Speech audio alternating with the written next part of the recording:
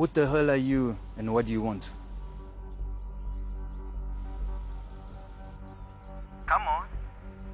Speak up. It's not a staring contest.